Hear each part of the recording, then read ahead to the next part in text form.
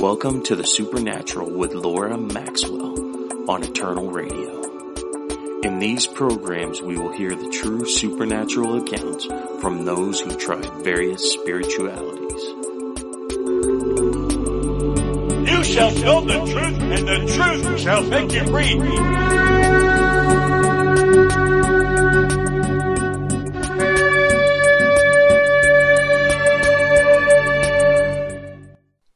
Tonight's guest is John Cramphorn. He is a former medium and shared his story twice on Revelation TV with the late Doug Harris. John's church also filmed it on YouTube, and John wrote a free book that you can download. Hi, John, how are you? I'm fine, Laura. Nice to see you again and speak to you. Nice to speak to you too. It's been a wee while, but it's good to good to hear your voice again. Yeah, it's good to catch up, Laura.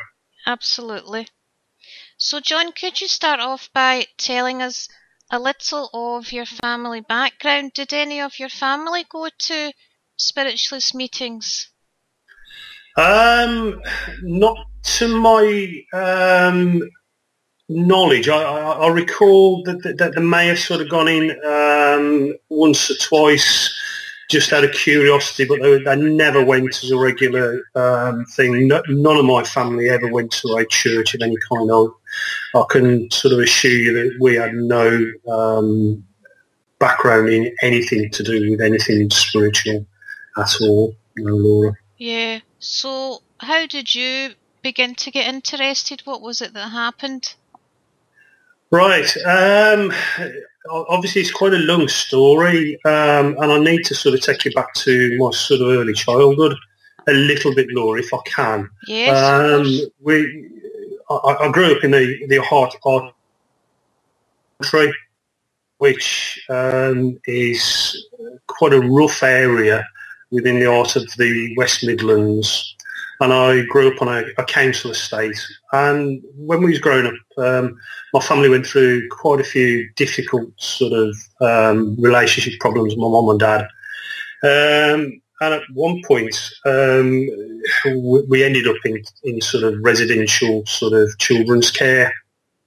And for anybody who's ever gone into a children's home and been took, took from the, the parents, I can tell you it was a pretty traumatic time. Yeah. And, and at that time, I, I sort of, I was completely off the rails in many ways, um, antisocial.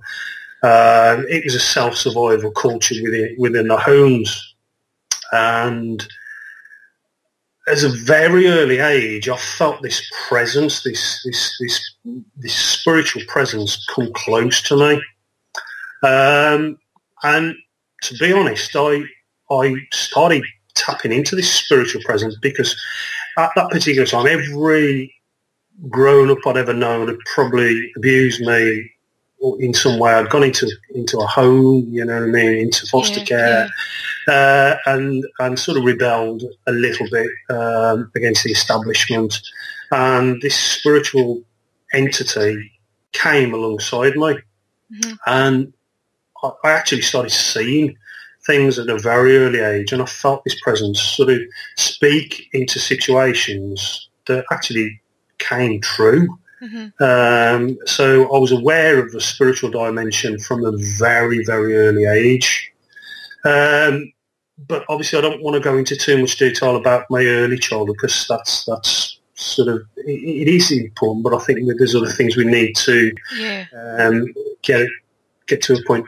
But I can I can say you I was I was at a point in my early childhood where um, I remember very clearly we'd just um, been uh, moved into a uh, foster care um, in the country, and there was a little school there. And I watched the tractor ploughing the fields for the first time, and I was I was totally uh, void of any sort of feelings or emotions with any children. I used to end up fighting nearly every day. And I just ran off into the woods and I just sat in the woods in, in the trees, literally just sat in this tree, literally all, all day long. And I felt this overwhelming presence of a spiritual being, which I believe now, knowing what I, what I know, was Jesus. And I felt the peace of peace um, literally just manifest all over me. Uh-huh. And this peace I carried in my heart in literally all my life. And I think it's the, the only thing that stopped me entering into either a prison, any of my, because most of my time, most of my friends ended up in jail or, or other, some kind of uh, other things. But this, I believe, was the presence of God actually come and stilled my, my spirit at that very, very early age that stopped me always going to the point of, of, of non, no, non-return. So that was an early part of, of my, my life. So I, I, Mhm. Did feel and experience something, but I had no religious upbringing whatsoever. Nobody in our house ever went to church. We never the Bible, Christian seed. Yeah. Um, so, That's that's really beautiful that the presence of God came so close to you at that young age. So what kind of things happened as, as you began to, to grow up? Did you pursue this the other presence that you could feel sometimes, the kind of a the, the, the, the other spiritual being that was with me was Yeah. with me from from I, I can remember it being with me all my life, and it was one of the demons that I, that I used as one of the spirit guides um, when I later became a, a, a medium. So I was aware of it, uh, um, but I, to be honest, I, I blocked a lot of it out um, because it wasn't. I, never told anybody because it wasn't the cool thing to do. People Yeah. wouldn't believe you Mhm. um, any any form of religion in our household at the time when I was growing.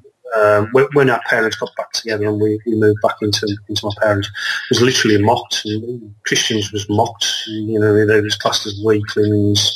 Um, so you know, but I did. I, I was aware of this presence, and I was aware of this presence that I could tap into occasionally. That that, that if I was in trouble, um, it would sort of help yeah, and provide. Um, all of a sudden, a name would come into my, into into my into my, my mind, or a or a or a dream type thing. I'd have, and I'd know the answer to something, and I know the answer to things before they, they like, like before it happened. yeah, Um, so it was like an early sort of. Um, I believe the old devil was trying to lure me into and soften, um, soften me up to get me into some sort of mediumship at some point. But I'll tell you a little bit about that when I when I'm a bit farther in my testimony. yeah, sure. So, yeah. So what's the next stage then, John? What what can you share next about that? Right. Um, like, like, like, I can, I can tell you that, like, I, I sort of left school and I virtually couldn't read and write. So you can tell the sort of early sort of background I, I went into. And, I, and I, will tell you my, the first time I ever went into a church, um, I was 16, 16 years of age. And there was myself and about four or five other youths, roughly about the same, same age, 16, 17, 18. And it was Christmas Eve, and it was a, an Anglican church in Upper Gornal, where I lived at the time, um, part of the Black Country. And it was midnight mass on a Christmas Eve, and we actually went in there and took Holy Communion um, just because my mate, mates had dared me. And part of that, after that, we actually trashed the church. hmm Um, we sort of completely wrecked the service. And the trophy for us was literally we made the newspaper Yeah, headlines, um, Yobbo's trash uh, uh, midnight mass service. Uh, so that was my first experience with going into church. So like I said, and I want to sort of labour the point, I hadn't, I'd never read the Bible, hmm never went to church, had no Christian teaching whatsoever, but I was a spiritual dimension yeah, out there. So um, the next part I can sort of tell you, God's got a real sense of humour. Um, I met my wife when she was, when she sort of was 12 years of age, and we've been married 32 years. And my wife came from a, a really sort of stable family. Yeah. Um, and she could see something in me that I couldn't see in myself. And she would never uh, put me down, never uh, speak down to me or anything. And she, all she kept doing was trying to lift me up and build me up physically, emotionally. And she wanted, we decided to get married. And this was around about about 20, I was about 20, so it was three or four years after the, after the, I trashed the church. The church, church that we used to get married in to be read was the church that we trashed. Uh-huh. So we had to go for our banns to be read. Yeah. Well, I went once and I, I lied to the uh, the vicar and I told him I was ambulance driver and I, I had to work Sundays. That's the first thing I could think to get out of going to church on a Sunday. Mhm. But as, as it happened, he was the same guy um, that, that that I trashed the church, but I don't believe he recognised me. Uh-huh. Um, but anyway, we got married in that church, and that was the second time I ever got ever went in, in a church to my to my knowledge, other than maybe a funeral of, of some kind. Yeah, yeah. But uh, from from that, uh, I ended up in, and I wanted to learn really to sort of. I didn't want my kid children growing up not having an education, Uh-huh. and so I learned to read and write really quickly. And I was doing a carpentry and during the, the time, and I was trying to be a carpenter. Um, and so I learned to read and write. Um, in essence, and my wife was really pushing me to sort of go on. And cutting a long story short, I went on and did a teacher training course, um, which I found really, really hard. And this got me into sort of education. hmm Well, at that particular time, I'd just done uh, four years at college doing my City and Guilds, my advanced City and Guilds. I'd done two years doing the teacher training course, and there was no work on the building trades. hmm Um, so I sought a job um, uh, in- for social services, working in a day centre, hmm um, teaching woodwork to people with learning disabilities and people with physical disabilities, had a stroke, rehab type stuff. And I just applied for this job um, because there was nothing else out there. Uh, at the time, the recession was so bad.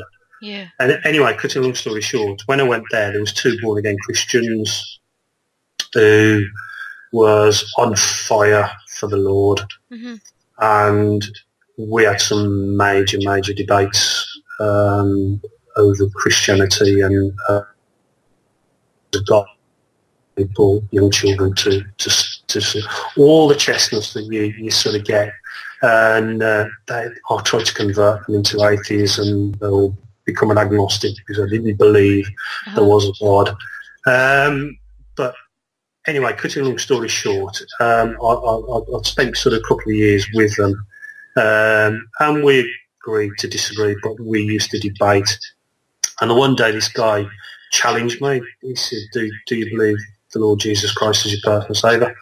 And I had to say no at that time because that was the truth. Yeah. Um, but I had this this gut churning feeling in my spirit Mm. that it turned and the next day I was sort of driving to work and I had this overwhelming sense that I had to pray a prayer. Uh-huh. And I prayed a prayer and I mean this prayer from my heart. Hmm I prayed this prayer from my heart and I said to God, I said, Lord Jesus, if you are real, if I see you with my eyes, then I will follow you all the days of my life. But if I don't see you, then I ain't going to follow you because end of end of deal. But I, I genuinely prayed the prayer Yeah. um, from my heart. hmm Anyway, cut a long story short, um, the next day I was attacked and nearly killed. Oh my goodness. And I ended up going, um, I- having nine months off work. I was classed as 30% disabled at the time. Um, I had neck injuries. So I went from a six foot four guy, 17, 17 and a half stone, hmm to somebody who couldn't work. Who'd, I'd all, and I mean, I was young, I was confident. Um, I got the gift of the gab, and I'm quite articulate in many ways. Uh, I used to study martial arts, um, and I could hold my own in a fight. You know what I mean? But to go to somebody who couldn't um, do anything, and I spent nine months off work, and I, I, I, sort of went through this journey, this this this this journey of, of how vulnerable we are sometimes as individuals. Yeah. Um, that something can be taken off you so quickly that I, it was a lot of soul searching I'd done for my life, and and nine months into it, and I mean I was feeling sorry for myself in many ways because I used to pass out and lots of things, mm-hmm. um, regular, uh, and I audibly heard the words, "It's now time to get well and get better." Wow. And I audibly heard those words in my house. Uh-huh. And you know what? Instantaneously, the pain left my neck. The pain left my body. And on within a week, I was back at work. And I, I handed up all my benefits back in. And I went back to work. And it took a few more months to physically, mentally and psychologically get back up to speed. Uh-huh. But I, I, I literally went for somebody who was classed by the um, Department of Works and Pensions doctors as 30% disabled to somebody who was back at work with no pains whatsoever, and I've had none to this day.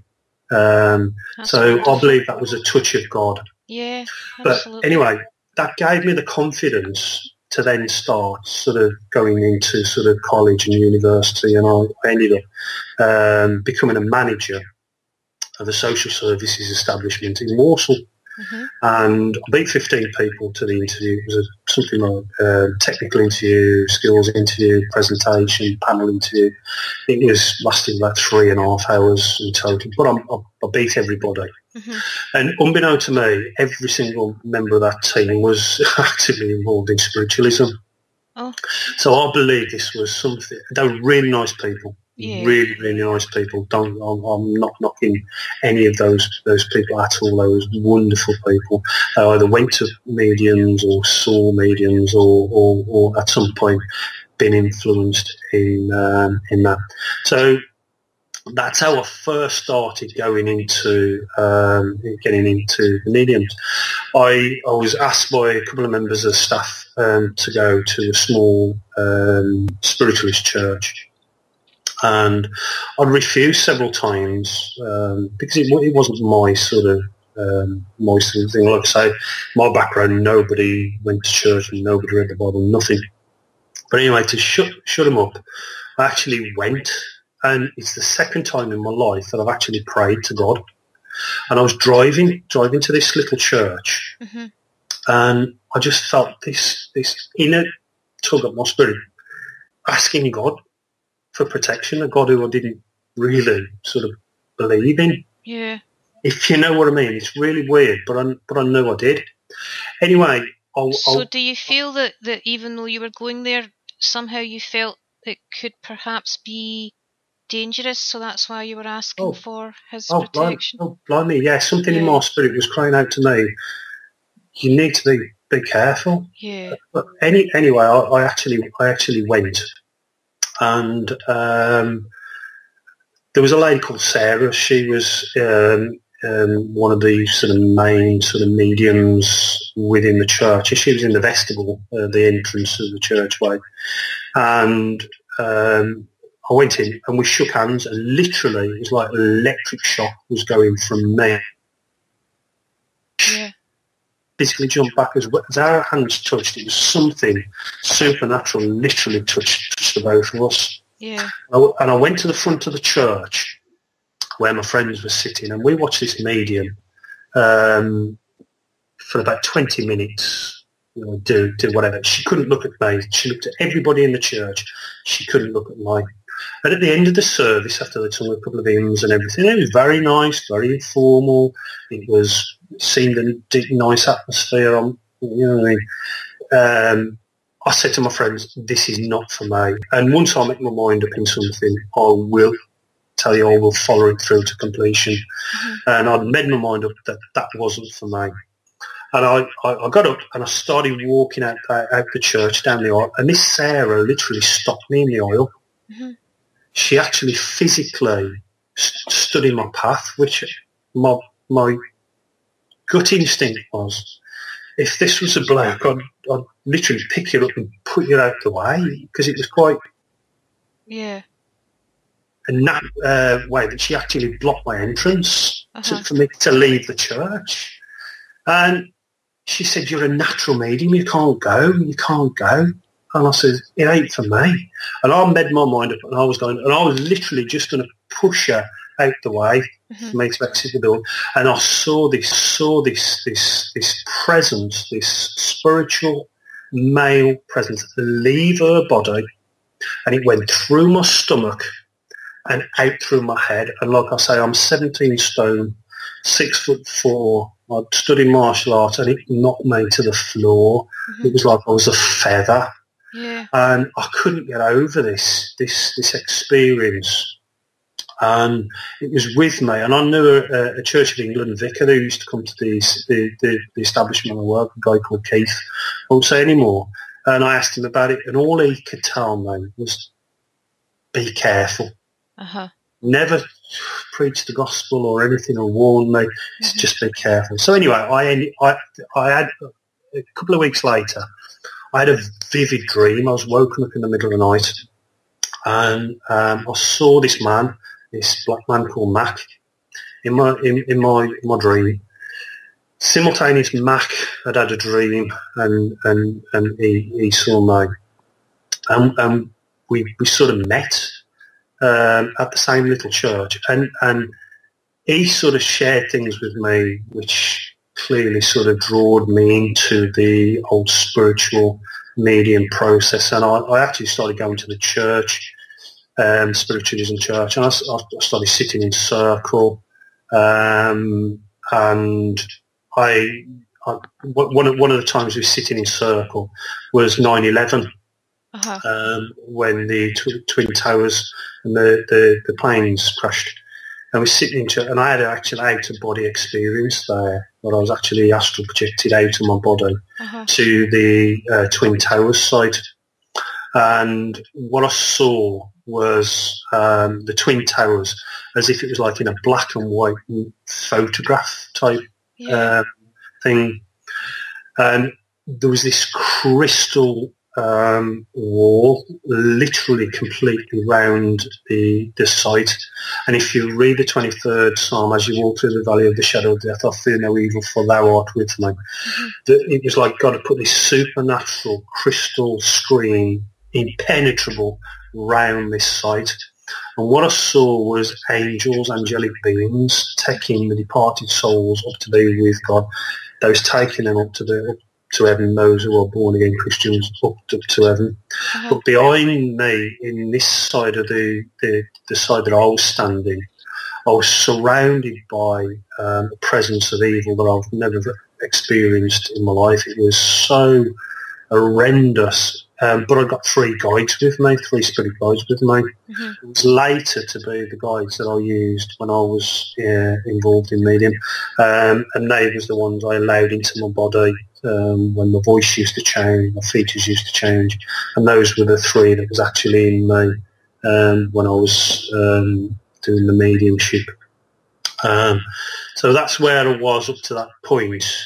Um, and I was going on in mediumship. Um, I was reading books. I was meditating. I was astral projecting.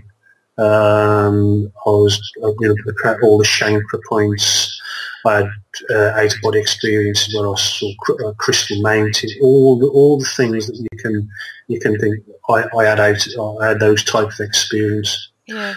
But the one day, um, the one day I had this, um, sitting this, this sort of um, a late summer's, summer's maybe early Octoberish. You know, it wasn't long after the after the the, the Twin Towers, um, but it was a beautiful sort of um, afternoon, early early evening.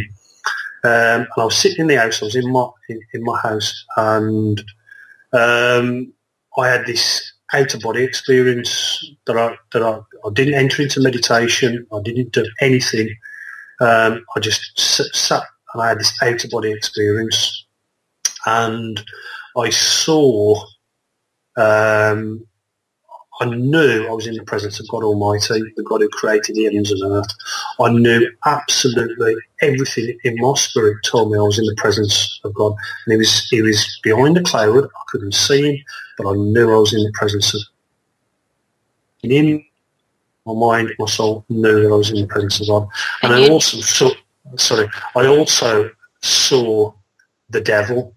Yeah. And when I saw the devil, um, he, um, he, he was, and I'm not in, into sort of man, I'm, I'm happily married, but he was one of the most beautiful creatures I have ever seen in my entire life. Mhm. His beauty was beyond uh, expression, and he was what every man would ever aspire to want to look like. Mhm. And he was down, down, down. He wasn't in hell. There was I was on the earth, but I could see into the spiritual dimension that was Yeah. being shown me. And the devil literally took me to the east, to the pyramids, and to the west, and and he offered me fame, fortune, um, book deals. I'd be an international medium. He would fast track me. The, the, the, the trappings of this world, everything would be mine, but I'd be selling my soul to the devil. Uh-huh, uh-huh. And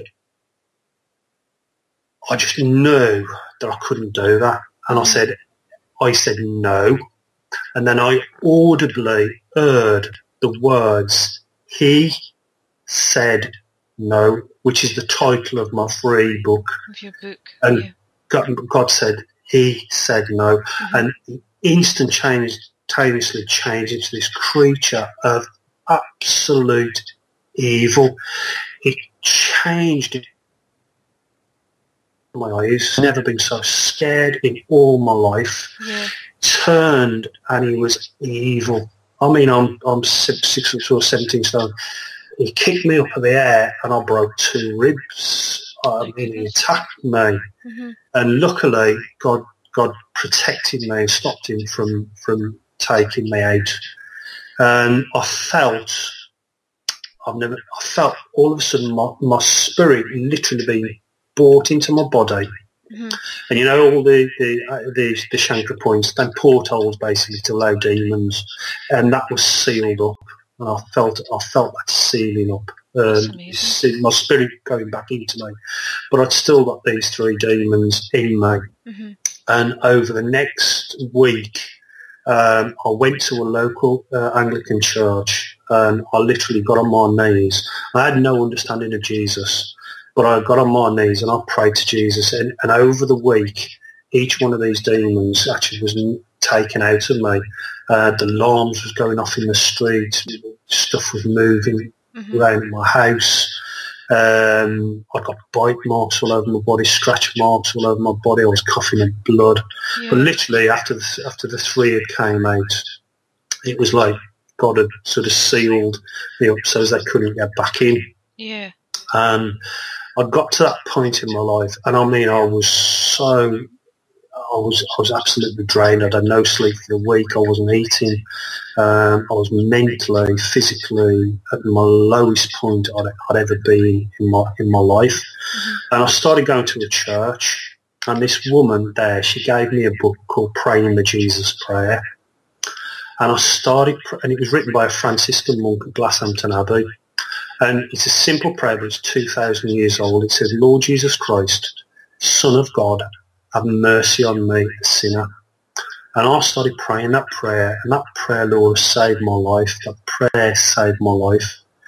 But had I been become born again then? No, I hadn't. I, I, I started going to church and I approached this religion as I'd approach spiritualism. I, I, I was reading stuff on it and trying, and it was all head knowledge. It was it was very legalistic. I was approaching it, Uh-huh. and and but I was still under demonic attack, and I couldn't understand. And it was just a nightmare. And I'm moving I'm fast tracking because I know obviously we've only got a half an hour uh, talk, Laura. Yeah. Um, but uh, but cutting a long story short, uh, about sort of three to four months after these demons had came out of me, um, I was approaching uh, a little gospel church in Sedgley, where I live now, and I passed that church ten thousand times, and I, I just I was with my wife, um, and I felt ill, and I said to my wife, I've got to go back home. And she carried on up to our little shopping, our little village where, where she went and got the shopping and or whatever she did. And I came back and I literally came parallel with the church and I just got this, it's like a, a, magnet to steel. I had to cross over to the to, to this church. Uh-huh.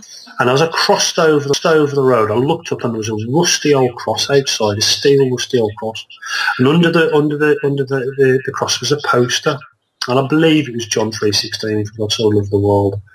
And I kept reading these words, looking up at the cross, and I kept reading and looking up at the cross, and I kept reading. And it was like the penny suddenly dropped, Laura. Yeah, the The penny suddenly dropped. Mhm. And instantaneously, as the penny dropped, the prayer that I'd said several years previous, when I just before the day that I was attacked, I said, Lord, if, if you're real, Jesus, you show up.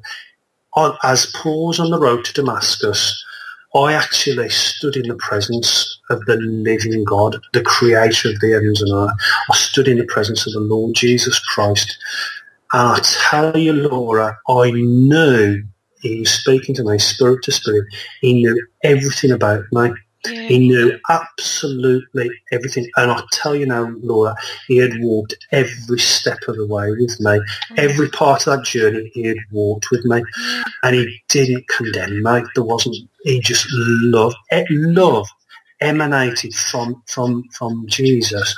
And that love, it was just like emanating. And the more I just felt his spirit, the more the love just emanated. And it was like emanating all over me. And, he, I, and his eyes, I looked into his eyes. And the love and the peace, the shalom peace that he carried, you know, I tapped into that, Laura. I tapped into that. Uh-huh. And, and, and from that day since, I, have been a born-again Christian Mhm. and I, I was baptised in water uh, on the 21st of May, um, shortly after, and, and I was filled with the Holy Spirit and spoke in tongues, and the Lord has been with me now um, since 2001 and I've had him with me every single day, and I can t- testify to the miracles he's done in my life, the blessings that he's done in my life. Has it been easy? No, because what he's called me to do is he's called me to work with within the field of deliverance, within people who are oppressed, um, powers and influences, and that's my calling. Um, is it a spiritual battle with it? Yes, it is, very much so. But I do know the truth, and the truth has set me free. That Jesus Christ is the way, the truth, and life, and no man will come unto the Father except through Jesus. And and if I've got one thing to say, is that I look at my brothers and sisters. Um, because every single human being, because our, our battle is not against flesh and blood, but against powers and principalities. And, and my brothers and sisters who went into the spiritualist church, they are good people. They are genuine people. But I absolutely believe they are being deceived. And I, I, send out this prayer to them that they will actually test the Spirit of God.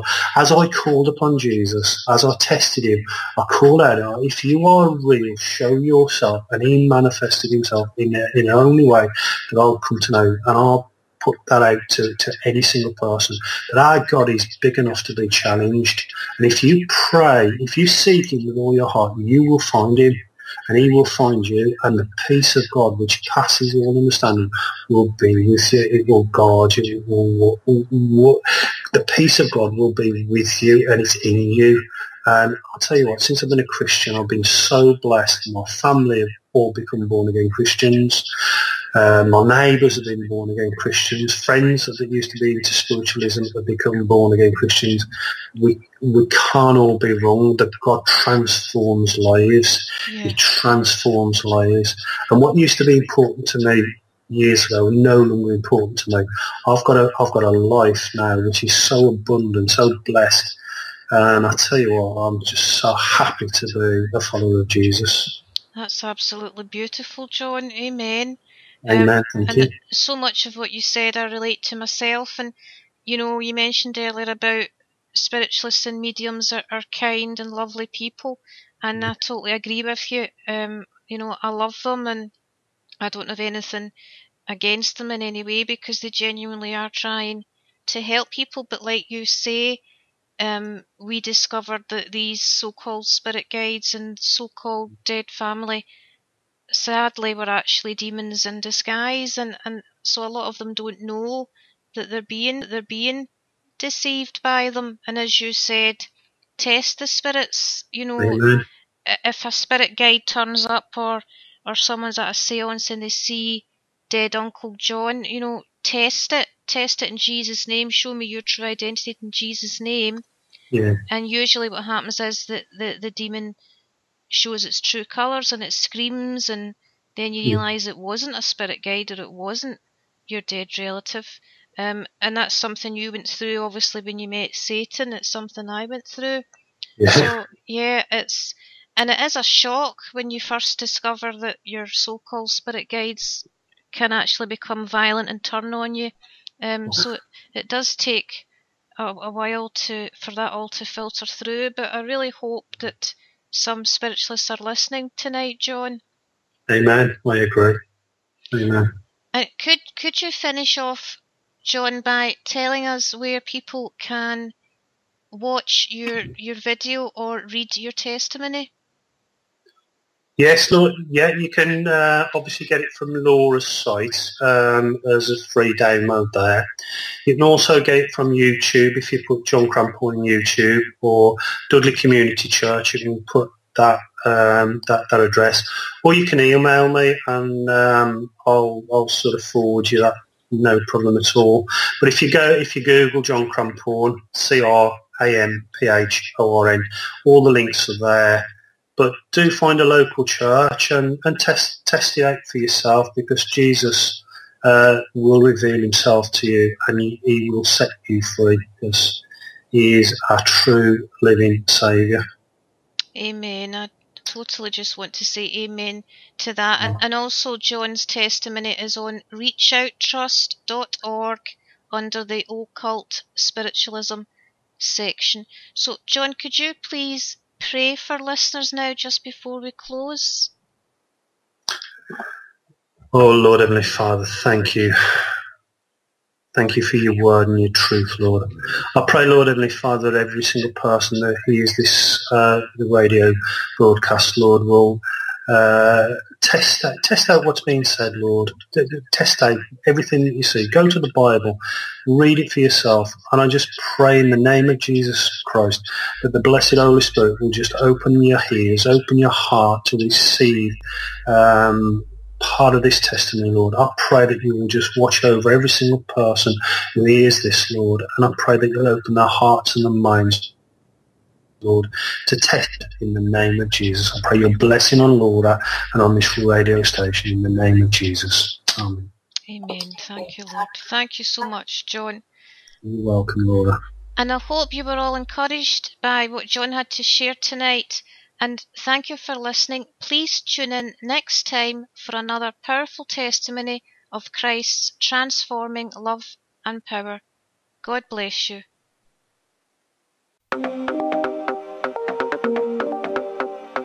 The preceding program was made possible by kind donations from the listeners to Eternal Radio, for which we are very grateful.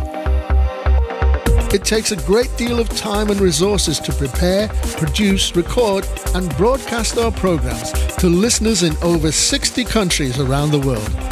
Our potential audience is much larger, and Eternal Radio can now be heard all around the world online, on tablet, on smartphone, and on TV. If you would like to help us continue broadcasting sounds to energize your faith, together with the message of God's love for all mankind around the world, please prayerfully consider making a donation. From your mobile phone, simply text ELCM02 followed by your donation preference of £3, £5 or £10 to 70070. Thank you for listening.